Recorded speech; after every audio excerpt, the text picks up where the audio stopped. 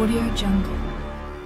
Первый кассационный суд общей юрисдикции отказал 47-летнему вору в законе Тенгизу Гигиберии в выдаче нового паспорта, следует из картотеки дел. В силе осталось решение Липецкого суда, который признал, что отсидевший 17 лет за убийство и разбой мужчина незаконно получил гражданство.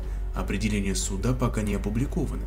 В мае 2020-го Елецкий горсуд признал законным отказ местного отделения МВД в выдаче уроженцу Грузии Тенгизу Гигибери по кличке Тенга Патийский нового паспорта. С 2017-го он отбывает наказание в местной колонии по приговору Пресненского райсуда Москвы, который в 2005-м признал его виновным в краже и разбое с проникновением в жилище и убийстве и хранении оружия. Тенгиз Гигибери в своем иске к отделу МВД указал, что его паспорт был утерян сотрудниками ФСИН за время его отбывания наказания. По его версии, он получил документ в марте 2001 в Щекинском РУВД Тульской области на основании паспорта СССР и справки посольства РФ Грузии от 20 сентября 1997 года о признании его гражданином России.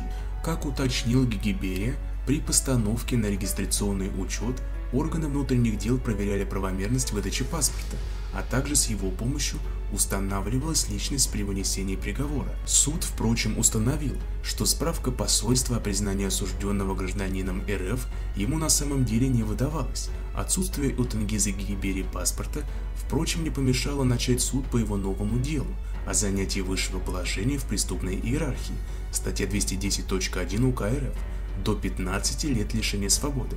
Сейчас оно рассматривается в Липецком областном суде.